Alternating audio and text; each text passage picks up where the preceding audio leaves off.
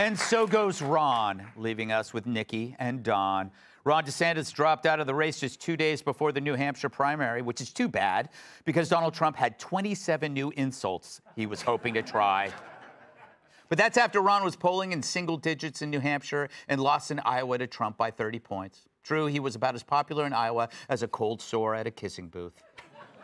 Here he is sounding pretty relieved it's over with. If there was anything I could do to produce a favorable outcome, more campaign stops, more interviews, I would do it. But I can't ask our supporters to volunteer their time and donate their resources if we don't have a clear path to victory. It's clear to me that a majority of Republican primary voters want to give Donald Trump another chance.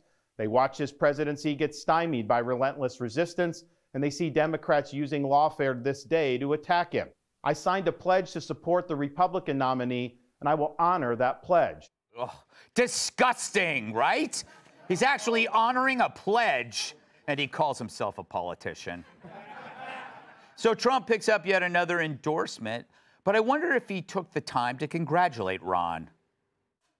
I'd like to take time to congratulate Ron DeSantis and, of course, a really terrific person who had gotten to know his wife Casey for having run a great campaign for president. He did. He ran a, a really good campaign. Oh, that is so Donald. but did he, though? Between his campaign and the super PAC supporting it, DeSantis spent tens of millions and still got trounced. I haven't seen such a waste of money since Joy Behar had her lips done. Okay. but was it really a waste? To me, it was worth it. Because for the longest time, the argument was to challenge Trump with the best alternative, almost as a stress test, but also to give those who wanted a viable replacement to Trump to have one.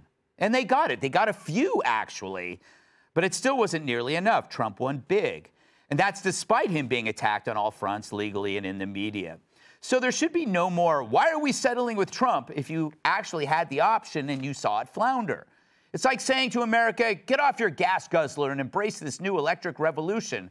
Well, the option was there, and they went with the gas guzzler. Maybe in the future we will consider it, but not right now.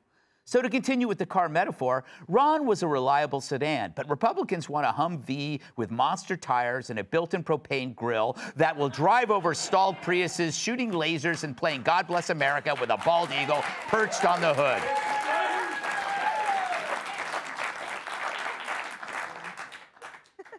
Vivek.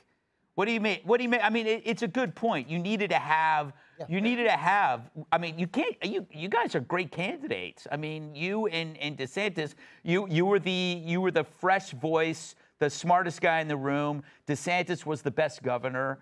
You know, you can't just say, "Oh, we're stuck with Trump." DeSantis was an excellent governor. I'm not going to knock him. I know how hard of a decision that is to make. It was for me not a decision that I planned to make until we took about 20 minutes that night and I decided on the spot that night after Iowa, you, you, you, see the way this is going. Let's actually do the right thing for the country. And I'm glad Ron made the right decision as well. I think he has an outstanding future, whatever it is. He's going to have an impact on the country. Got to know him a certain amount through the process, and I'm confident he cares about this country and he's going to have an impact on our politics going forward. You guys hang out a lot. We didn't hang out much. Uh, Ron, Ron wasn't a, you know, I, I, I you guys, you, guys I, I, you know, I, I think, but we, bar hopping. We, we didn't, you know, I, was down, but uh, but I will say that he could be a good attorney general or something like that. To tell you the truth about Ron, but I will say this: is there was one part of that that I think we should probably double click on is, I think the super PACs have been all bad for American politics. Democrats, Republicans, it doesn't matter the amount of money that you said was wasted, I think a lot of that money was wasted because I think the voters could have equally had the choice without putting up those plastic 30 second TV ads on networks across the board in Iowa and New Hampshire. It doesn't matter. It's all fake plastic. It, in the short run, moves some numbers. I didn't play that game. I put $30 million of my own hard earned money into the campaign. Mm-hmm. I wish it didn't have to work that way either, but it's better than the super PACs. Dude, you could have given that to me. I would have put, I would have put it put you on the show every night. well, you know, we, once in a while it's good. Yes. I think I think it's better for everybody. Yes. But I do think that this is a, this is an issue the Republicans can own coming out of this is we should be the party that says we want to get the influence of mega money out of politics. Mm-hmm. We're the party of we the people, and I do think that could be a pivot for our party going forward. Pat, didn't you like how he said, I want to double click on something? Yeah. That's why he's like Vivek. That's why I got like 8%. Yeah. I want to double. Kat, you called me this morning in tears over this. How are you taking? First of all, I would never call you if I was in tears. You'd be the last person I want to talk to if I was upset.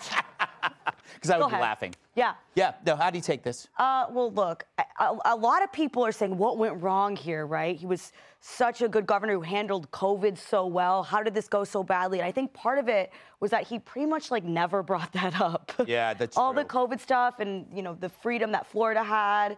He was, you know, instead of talking about that, he was like. I'm gonna run against drag queens. he got so into the drag queens are bad and the Disney is bad that honestly, I'm all for the parents' rights stuff. That's not what I'm talking about. But he went so far that some of it was actually anti-parents' rights. Like some of the laws were like you can't bring your child into what is an adult performance that's determined by the government. I just don't want the government to tell me where I can bring my kids if I had them. Stay tuned, maybe someday. But um, one guy's like, do it. Um, but yeah, I think he, he wasn't even really that focused on the right things. So, but also I think it was going to be Trump no matter what. What do you No say. Adam? You are an astute political analyst. Astute. Uh, I don't know. I think the, his polls were rough. I've seen better looking polls in a Montana strip club. Um, and that's in the uh, day shift. Um, but I, it's crazy because people are going to vote for Nikki Haley. Some people just because she's a woman. Because Yeah. we had our first black president, and we had our first orange president, and you know now we have our first dead president. Um, but.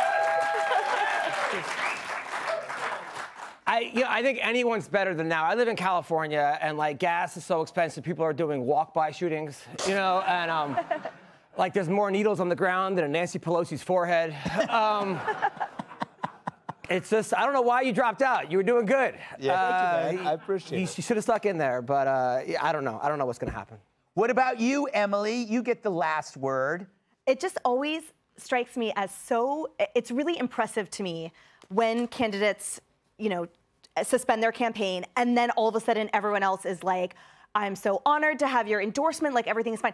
I guess it's the sicilian in me but if someone even looks at me wrong i'm like i wish you nothing but death forever. So the, the like turn i'm like oh my gosh you guys are you have such big hearts. Um, I, I think what's really interesting actually is what might well, it probably will happen in New Hampshire. So we know that Trump was ahead of Nikki by 17 points even before DeSantis dropped out, right? So the question remains how many independents and Democrats will Haley get? But to me, the bigger question is the fact that Biden's not actually on the ticket. And we have someone named Dean Phillips running who's running hilarious ads of Sasquatch looking for the president. Where is he? Because he's nowhere. And I think it's it's really going to be interesting how well he does because that might be what induces other sort of big name Democrats to step in and be like Biden get out of the way. So Do you notice that Dean Phillips and DeSantis are never in the same room together? Oh my gosh. It, it's, it's bizarre. It's right? bizarre, and they are dead ringers. Put that in post. Pictures together. No, it's serious. I'm serious. They look exactly. Oh, I noticed that. Yeah, Absolutely. Yeah, Yeah. it's creepy. Mm. It's like Sasquatch and Joy Behar. Yes, exactly. How dare you impugn Sasquatch? Hey, Sean Hannity here. Hey, click here to subscribe to Fox News YouTube page and catch our hottest interviews and most compelling analysis. You will not get it anywhere else.